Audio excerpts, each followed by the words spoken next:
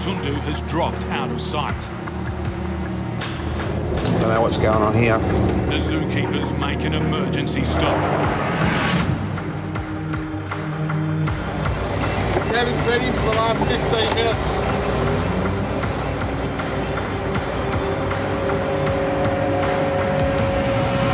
At Port Botany, a 50,000 tonne container ship is about to dock. And the 25 year trucking veteran will be there to meet it. Ready for the biggest challenge of his career. We've done a lot of homework on this and a few little butterflies. We're just hoping everything comes together. For his customer, Rob Clifford, a nervous wait is almost over. Blowing the crane down now. At some point in the next 10 minutes, you'll just see being lifted straight out of the belly of the ship over, over the top there.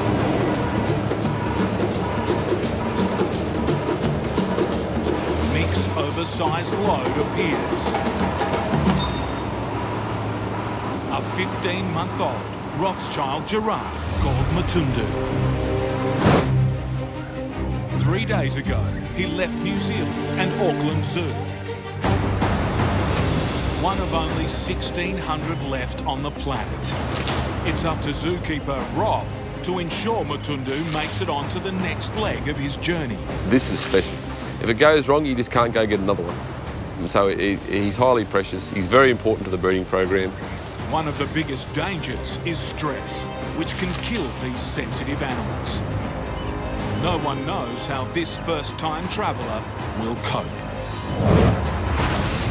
From Port Botany, Matundu will travel 300 kilometres through the night to his new home at Mogo Zoo. Is he going to strap it all down there?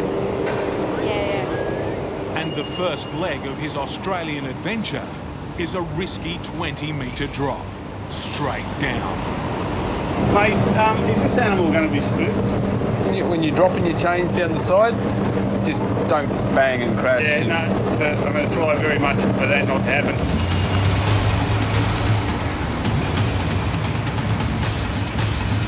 But first, this fragile animal must be gently loaded onto the truck.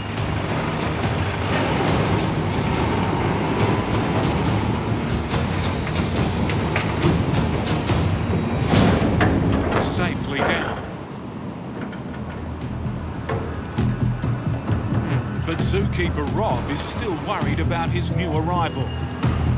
If it's open, leave it open. Leave it, leave it open, then they poke their heads out. If they can see what's going on, they don't freak out too bad. But he's just frustrated. Who are these people? Things moving over his head. We just need to get on the road. I'd, I'd say uh, the giraffe would have got scared because it scared all of us.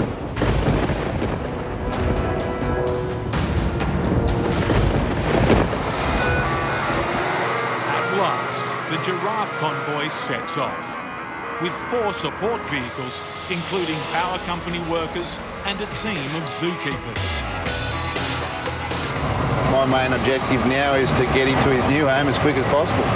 We're just hoping not to have any more rain, that's all. We're going to lose a bit of visibility and we need to be able to see up on top of that crate, at least to get under these low bridges.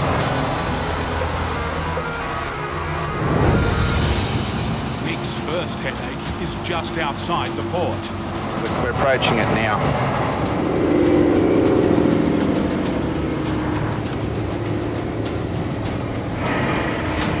He has just 30 millimetres of clearance. And only if he picks the right line. The dead centre of the bridge. You're going to be very tight.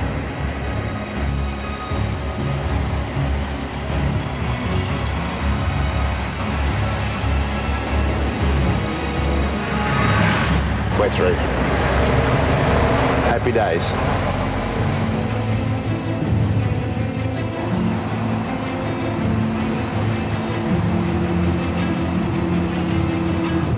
But around the next corner, another even tighter squeeze. Down the end of this, there's some power lines these guys have got to check. Yeah, mate. Yep. Okay.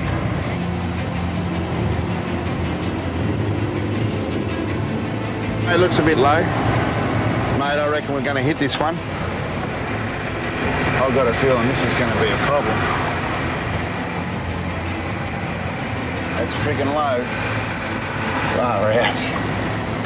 Mick's passenger is also checking out the power lines. And then Matundu does the unthinkable. He takes a bite. Snacking on a power line could be fatal. Zookeeper Rob is on the scene fast. You right, mate? He grabbed, he grabbed hold of the telephone line. A lucky escape. Just a telephone line. He just bit a hole in it. Matundu, which means the mischievous one, is living up to his name.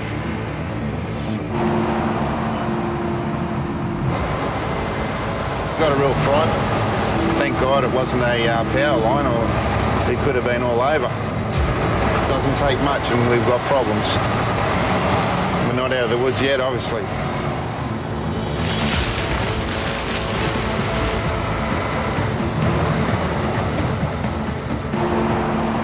An hour in, and the giraffe convoy is almost out of the concrete jungle. We're just on the outskirts of Sydney now, which is good because um, it's going to get a little easier from here. We're just trying not to jerk the truck around and make the rest of his trip a bit more comfortable. But as they hit the open road, the weather closes in. Visibility's down to probably 50 metres or less. We have to slow down in the fog, it's just no option. Because I need to keep an eye on that crate, make sure everything's uh, intact. Rather than risk the conditions, it's time for a break. So uh, we're just going to pull in here and have a bit of a spell. Go and have a look at our patient. Hey, dude. Hey, mate. Seems pretty happy, doesn't he?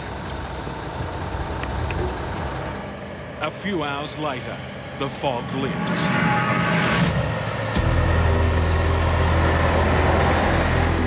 Along with Mick's mood. I'm feeling a lot more relaxed this morning. It's been an eventful trip, and uh, we're not finished just yet because we're only just over halfway. Outside the town of Berry, power company workers arrive to clear the path ahead.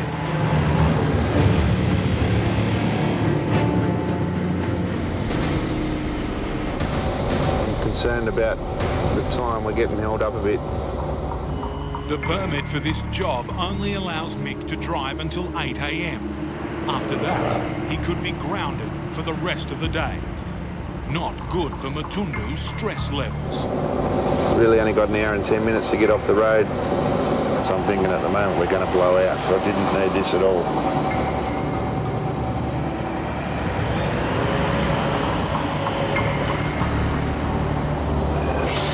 Not good. And Matundu's losing his patience too. Our mate's moving around in the back at the moment. I can feel the truck moving. I think he's getting anxious too.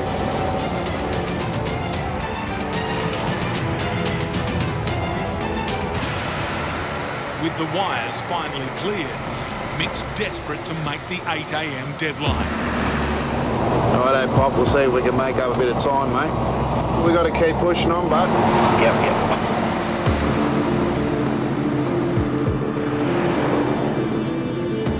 This fragile load needs a smooth ride.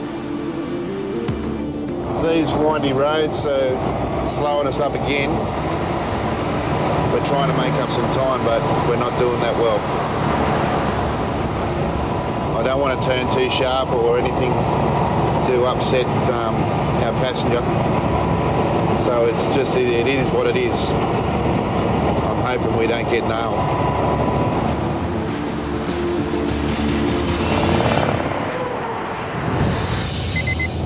There it is, that's 8 o'clock.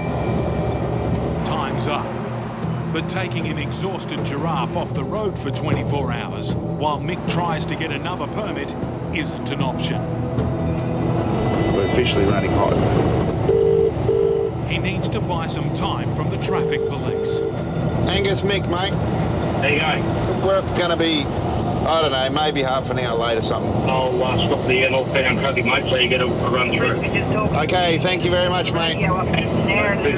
Bye-bye, Angus. That's for a good cause. A little bit of leniency. Who's going to pull over a giraffe?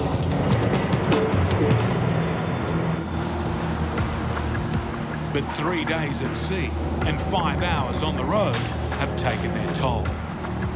Matundu has dropped out of sight. I don't know what's going on here. The zookeepers make an emergency stop. Haven't seen him for the last 15 minutes.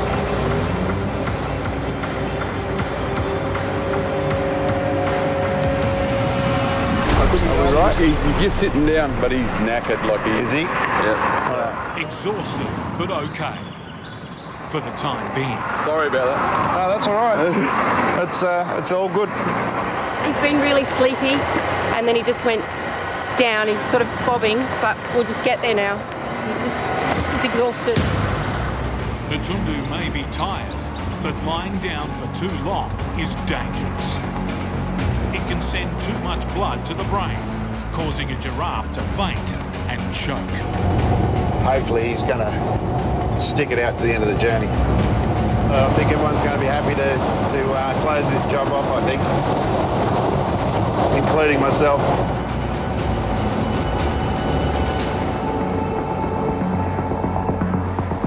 Up ahead, a narrow bridge, which could mean more delays.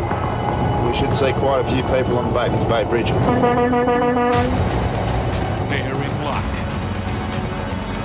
Police have stopped traffic. All good, mate. Thanks, mate. Thank you.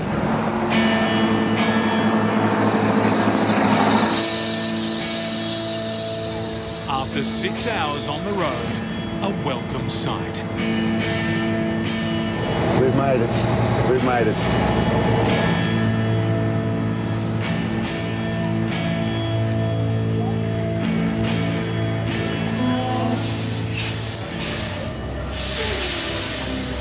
It, it's almost over. But has Matundu made it?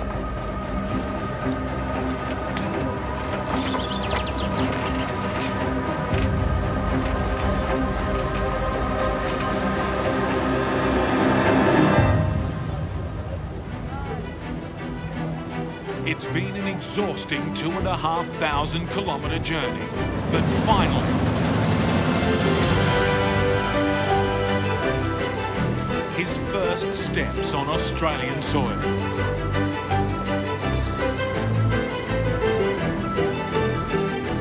Home sweet home.